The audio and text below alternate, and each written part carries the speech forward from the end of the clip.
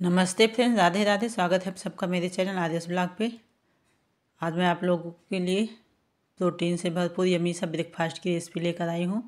इसकी खास बात पता है कि आप लोगों को कि ये झटपट बन जाती है और दो बूंद तेल में बन जाएगी। ये देख सकते हैं, मैंने एक रख दिया था भगोने में पानी गर्म होने के लिए। उसमें डाल दिया एक कटोरी मैंने सोया चंक और डाल दिया मैंने थोड़ा सा नमक, ताकि नमक अंदर तक सोया चंक में अंदर तक चला जाए और फीका फीका सा ना लगे खाने में। ये देख सकते हैं, इसे तीन से चार मिनट तक उबाल लेंगे। उबालने के बाद इसे मैंने पाँच मिनट के लिए ढक दिया था।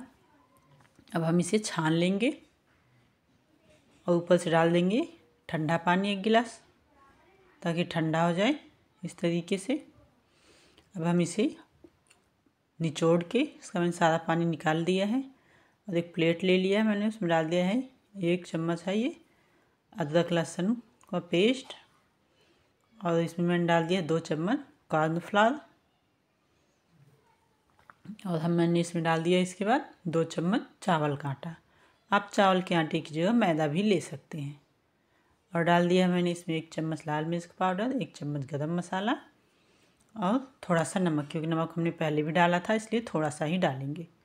इन सब चीज़ों को डाल के हम अच्छे से कर लेंगे मिक्स। दोस्तों, चैनल पहली बार है तो सब्सक्राइब ज़रूर कीजिएगा। ऐसे ही और नई नई इंटरेस्टिंग रेसिपी देखने के लिए। और इधर मैंने चढ़ा दिया कढ़ाई। कढ़ाई अच्छे से मेरी गर्म हो गई है। और दो बूंद तेल देख सकते हैं मैंने। बिल्कुल कम तेल डाला है। और इस तरीके से हम फैला देंगे चारों तरफ़ तेल को। और जो हमने सोया चंक रखा था, इसको हम कढ़ाई में डाल के इस तरीके से, एक बार मिला लेंगे अच्छे से फैला के इस तरीके से छोड़ देंगे। धीमी आँच पे ये बिल्कुल क्रिस्प हो जाएगा। ये देख सकते हैं, इसका कलर भी चेंज हो गया है। इसे थोड़ा टाइम लगेगा धीमी आँच पे पकाने में, लेकिन खाने में आता है, बहुत ही मज़ेदार। अब मैंने सारा सोया चंक निकाल लिया है, उसी कढ़ाई में एक चम्मच तेल और डाला है। और आप उस डीप फ्राई भी कर सकते हैं। और मैंने डाल दिया उसमें एक चम्मच बिल्कुल बारीक कटा हुआ लहसन। अदरक भी आप डाल सकते हैं। हो अगर आपके पास तो मेरे पास नहीं था। और ये देख सकते हैं, रफली चॉप मैंने एक प्याज ले लिया है मीडियम साइज़ का। इसको भी डाल के एक मिनट के लिए भून लेंगे। इसके बाद डाल दिया मैंने एक शिमला मिर्च। इसको भी डाल के हम मिला लेंगे। और मैंने डाल दिया एक टमाटर, जिसका बीज मैंने निकाल लिया है।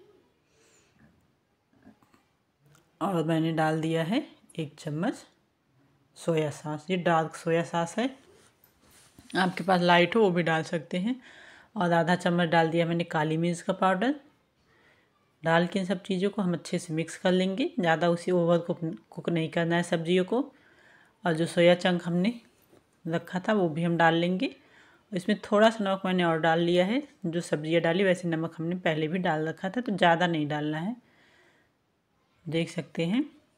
वो भी डाल के हमने मिक्स कर लिया और बिल्कुल थोड़ी सी मेरे पास थी धनिया। वो भी हमने डाल दिया है। सर्दियों का सीज़न है, धनिया बहुत ही अच्छी, हरी ताज़ी आ रही है तो डालिएगा ज़रूर। मेरे पास थोड़ा सा ही था, ये देख सकते हैं। कितना मज़ेदार ब्रेकफास्ट फटाफट बन के तैयार है। दो बूंद तेल में, बहुत ही हेल्दी बहुत ही टेस्टी प्रोटीन से भरपूर। आप लोग भी ट्राई कीजिएगा। मिलती है एक और वीडियो में। तब तक के लिए बाय